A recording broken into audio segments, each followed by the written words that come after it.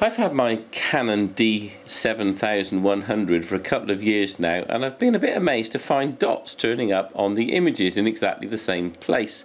These are bits of dust or other detritus that have attached themselves to the CCD. The reason I'm amazed is because I almost never take my lens off so how they got on there I don't know. But here's how you do manual cleaning.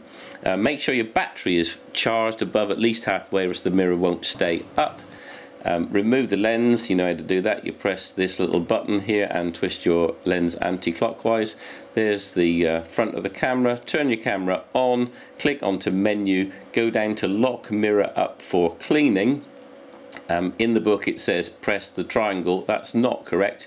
Press OK and then press OK a second time and you get taken through to this screen which says when shutter release button is pressed, the mirror lifts to lower mirror at the end of it, turn camera off.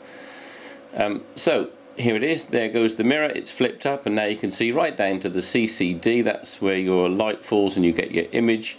Uh, there it is reflecting some nice rainbow colours. I got these CCD swabs off eBay, they're about a pound each, five, five for a fiver I think it was. And uh, they come in sterile packs, open one up and pull out your little lolly stick.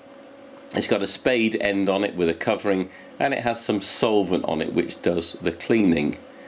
Um, I used a torch, you'll find it's a lot easier to see what you're doing if you do. Lay the camera down on its back and uh, swipe it across the screen in one direction all in one movement.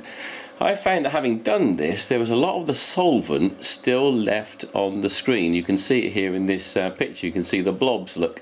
So what I did was get another uh, swab, take it out of its packet, leave it for five minutes so that most of the solvent evaporated, and then swiped again with now a fairly dry stick, which did a nice job of cleaning it all off and not leaving any residue.